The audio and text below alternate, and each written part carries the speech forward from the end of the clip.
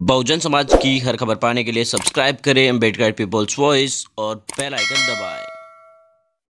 Friends, मैं नोटराम लोलियर आप देखना शुरू कर चुके हैं बेडगार्ड पीपल्स वॉइस दरअसल आपको बता दें कि आज की पास बड़ी खबरें, यानी सुपर फाइव का समय हो चुका है। आपको बता दें दिन भर की पाँच बड़ी खबरें, सिर्फ़ बहुजन समाज की और बहुजन समाज से जुड़ी वो पाँच बड़ी खबरें किसी भी चैनल पर आपको देखने को नहीं मिलेगी। आपको बता देंगे आज आज की पाँच बड़ी खबरें क्या है, ये हमारा स्पेशल कार्यक्रम रोज, हर शाम इसी वक्त आप देखते हैं।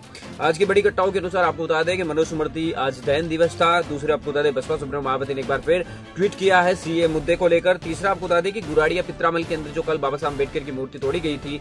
अब उस जगह पर नई मूर्ति लगा दी गई है, लेकिन आरोपी अभी भी गिरफ़्तार नहीं हुए हैं। चौथी बड़ी घटना की रुख करते आपको बता दें एस यानी सुप्रीम कोर्ट और हाईकोर्ट की आदेश के बाद एक दलित फिजिक्स प्रोफेसर की नियुक्ति के बाद भी उसको कुछ ब्राह्मण प्रोफेसरों ने दो साल तक उत्पीड़ित किया। और इसकी जाँच होने के बाद अब आदेश एफआईआर दर्ज करने के दिया गया है। पांचवी बड़ी घटना की रुख करते हैं आपको बता दें कि अब एनआरसी के बाद अब एनपीएस जो नया मुद्दा है, उसको लेकर पूरे देश भर के अंदर आक्रोश देखने को मिल रहा है। तो ये आज की पाँच बड़ी घटनाएँ थी, जिन पर हम चर्चा करते हैं विस्तार से। पहली बड़ी घटना की रुख करते आपको बता दें कि आज प्रति दहन दिवस है। आपको बता दें कि बाबा साहब डॉक्टर भीमराव अंबेडकर ने जाति, वर्ण व्यवस्था निर्माण करने वाली एक पुस्तक, जिसे मनुष्य स्मृति का नाम दिया गया है, उसका दहन एक समय किया था और उसके बाद उन्होंने S C S T OBC और हर वर्ग की महिलाएँ, गरीब, पिछड़ा आदिवासियों को आज़ादी दिलवाई थी।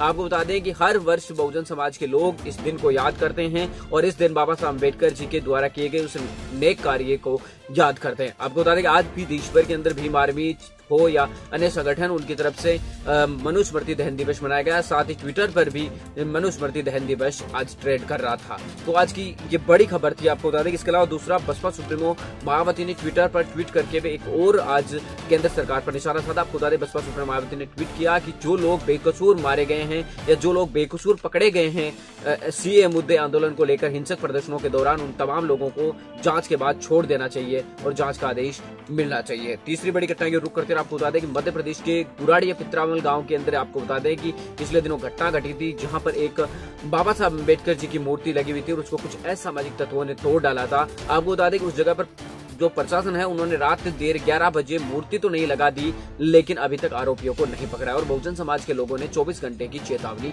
दी है। आपको बता दें कि गुरावड़िया पित्रामल के अंदर शनिवार रविवार सोमवार की देर रात जब अंधेरा था, तब उस समय किसी ने बाबा साहब अंबेडकर की मूर्ति तोड़ दी थी और उसके बाद से लगातार आक्रोश गाँव में फैला हुआ है। और आपको बता दें कि आरोपी को गिरफ़्तार करने की मांग की जा रही है, लेकिन अभी तक आरोपी गिरफ़्तार नहीं हुए और मूर्ति उस जगह पर नहीं लगा दी गई है।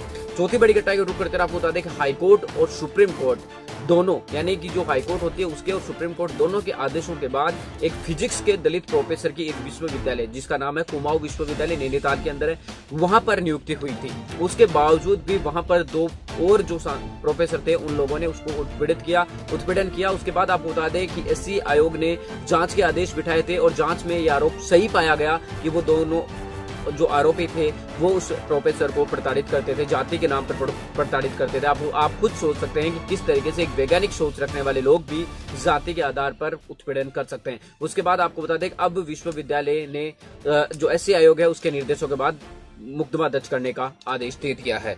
चौथी बड़ी घटना की पांचवी बड़ी घटना की रुख करते आपको बता दें कि जो देश भर के अंदर सीए और एनआरसी के मुद्दे को लेकर बवाल मचा हुआ है, वो लगातार जारी है। आज अखिलेश यादव ने भी इस मामले को लेकर बीजेपी सरकार पर निशाना साधा। उन्होंने कहा कि बीजेपी सरकार आने के बाद देश के अंदर हिंसक प्रदर्शन बढ़े हैं, लोगों की जाने गई हैं, मुसीबतें बढ़ी हैं, लेकिन किसी का भला एक का भी नहीं हुआ। मिलेंगे इस नए वीडियो नए अपडेटों के साथ।